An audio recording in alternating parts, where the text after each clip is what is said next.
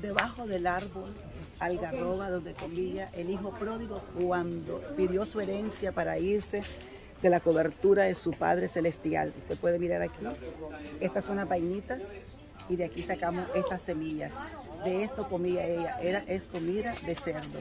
Y él volvió en sí y así a usted le pido que vuelva en sí y vuelva a la casa de Dios si está apartado. En el nombre de Jesús. Dios le siga bendiciendo.